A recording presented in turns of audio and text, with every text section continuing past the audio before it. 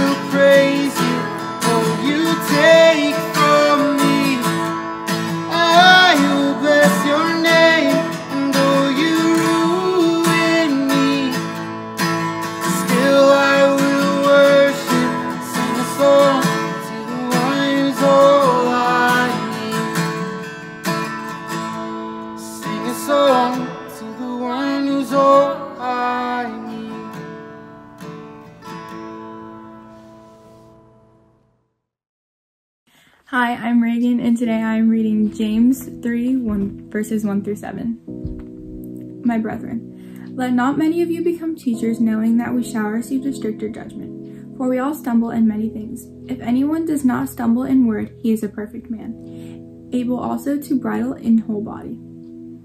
Indeed, we put bits in horses' mouths that they may obey us, and we turn their whole body.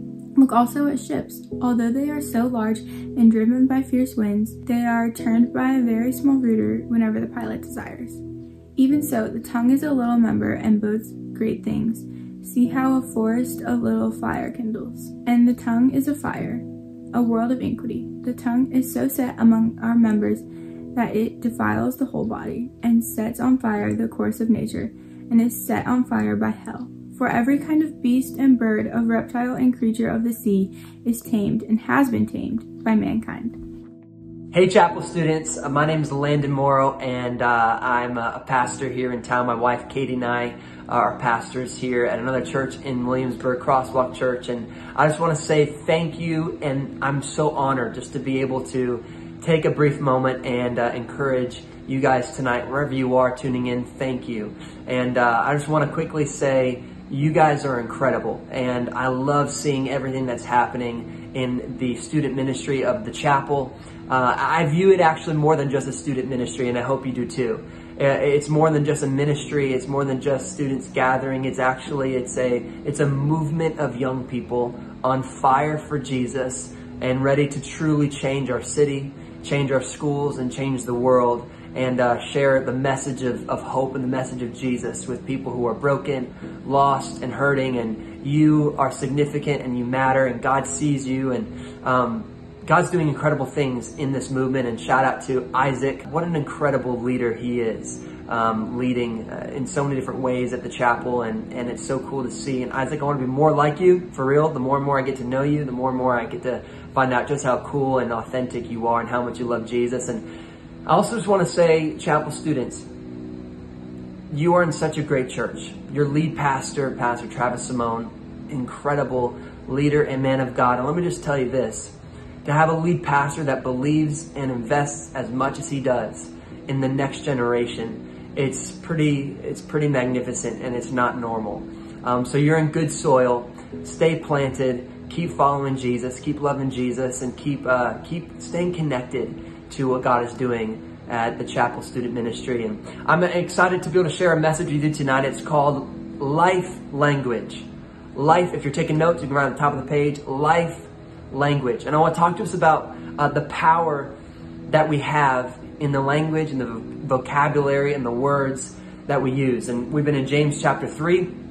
I get the honor and privilege of talking through a little bit of James chapter 3 today. And uh, I believe it was already read, but I just want to recap a couple things that it says. It says that even though the tongue is such a small part of the body, it has great power. And it continues to say that the tongue, even though it's a small part of the body, one of the smartest, smallest parts of the body, it actually is the most dangerous part of the body. And in Proverbs chapter 18, it, it actually goes to say that the tongue has the power of life and death. The, the tongue, the words that we use, our vocabulary, our, our language that we use is powerful, can bring destruction or it can bring life. I think a lot of times uh, we, we underestimate the power that our words have. Because we sometimes underestimate the significance, we maybe wonder, man, do, do people really care what I say? Do people really uh, have an opinion of, of what my thoughts are and the language that I use? And sometimes we underestimate the power of our words, and that leads us to maybe being careless with our words, maybe being reckless with our vo- vocabulary, or maybe being destructive with our language. I want to encourage you tonight that our words, and in this passage, it clearly states that your words and my words, they matter they're powerful.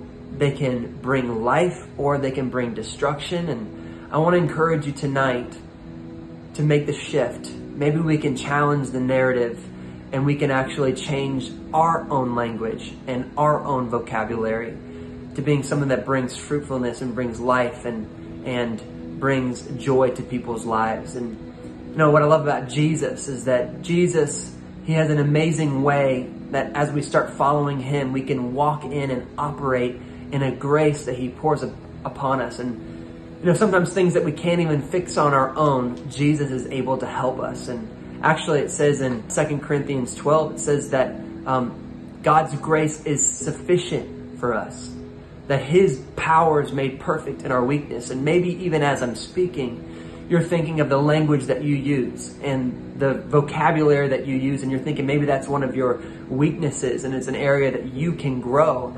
And I want to encourage you right here, right now, because of what Jesus did on the cross, He can come alongside you. He can empower you. He can pour His grace, His sufficient grace upon you, and He can help you, empower you to make the shift to using life language. Life language. There's just three things I want to encourage you, wherever you're tuning in tonight, three things that Jesus can help shift our language. And uh, I hope that you can write these things down. I hope you can take these things to heart. And I hope that maybe if we can get these three shifts, uh, then God can use us to do incredible things in our city, in our world, in our schools. Um, so three three shifts that I think we need to make when it comes to being followers of Jesus. Things that Jesus He encourages us to shift as we start following Him and pertains to our language that we use. Number one, we have to shift from destructive to constructive.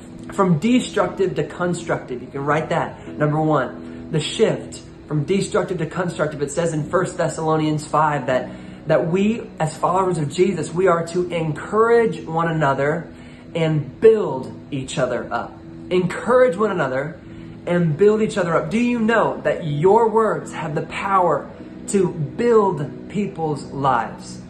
I think a lot of times in our culture, we look around and we see so much uh, bullying that runs rampant in our culture. We see so much negativity. We see so much uh, you, people using their word to tear other people down. But Jesus has called us as followers of Jesus to be different. Man, I, I don't know about you, but I, I, I'm sick and tired of seeing other people being put down by followers of Jesus, people who proclaim to be Christians that make fun of and bully and, and, and put other people down, that deconstruct other people's lives using the power of their words.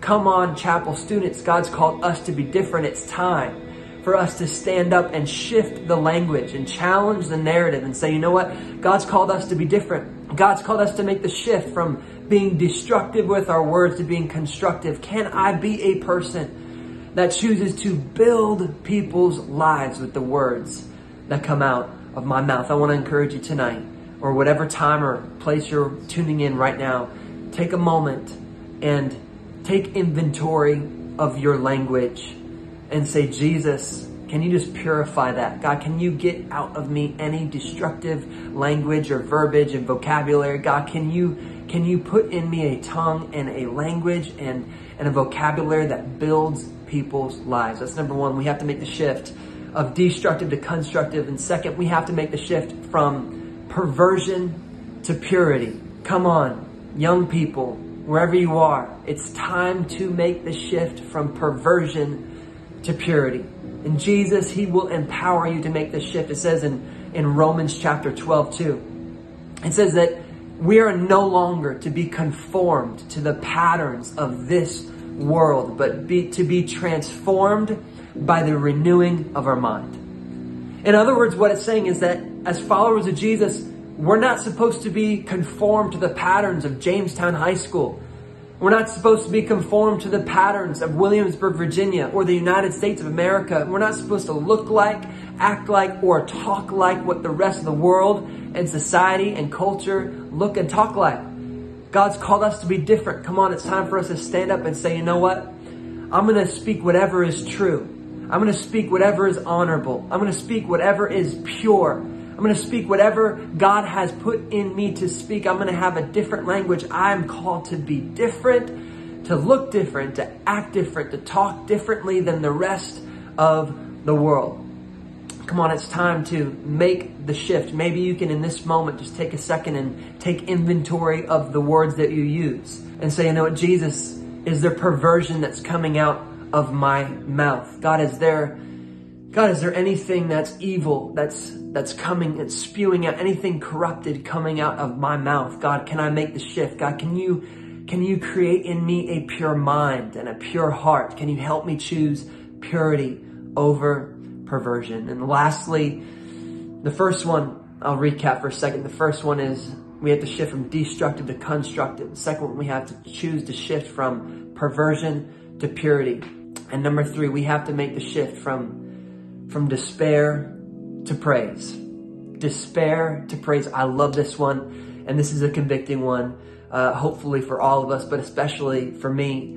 Says in Isaiah 61, Isaiah 61, he's writing and he says, the Spirit of the Lord is upon me and he's anointed me and he goes on to start to say all these different things that God anoints him to do. And this promise is a promise for you and I. Do you know the Spirit of God, when we follow Jesus, it's upon you and it's upon me. And he's anointed us. And one of the things that you read in Isaiah 61 is that God, when his anointing is upon us, he's given us a garment of praise instead of a spirit of despair. And I think a lot of times in our world, we can look around at our current situations and our current circumstances, even in a pandemic, and the narrative around us is despair. The narrative around our lives is a narrative of negativity. You know, God's called us as followers of Jesus and He's given us a better perspective. That even when the situation around us is discouraging and negative, He's given us the opportunity and He empowers us to make the choice to say, I'm going to choose praise instead of despair. Come on, as followers of Jesus, we have to make the shift and say, God, I need you to help me. That even when everything around me looks negative and everything around me looks looks discouraging. God, I, I, need you to give me fresh eyes to see what you're doing. I, I need you to, to, give me fresh eyes to see how good you are even in the midst of the, of the craziness happening around us. I love if you look at the Psalms, a lot of them were written by uh, David, who was just one of the legends of, of the Bible. And David, as he writes a lot of the Psalms, he oftentimes is writing from a dark place where he's hiding or he's running for his life or things are not going the way he wants. And he's in despair a lot of times as he's penning, as he's writing down the Psalms. But as you look at the Psalms, oftentimes they start with this. It says, God, I will bless your name. God, I will pour out my praise upon your name. David, even in the midst of despair, even in the midst of discouragement, he chooses praise. Take inventory of your words. Choose praise over despair. I love you guys so much. You guys are incredible. I hope this message can encourage you right where you are. Remember, God has called us to use a life language. I love you guys. Have an amazing time. You're amazing.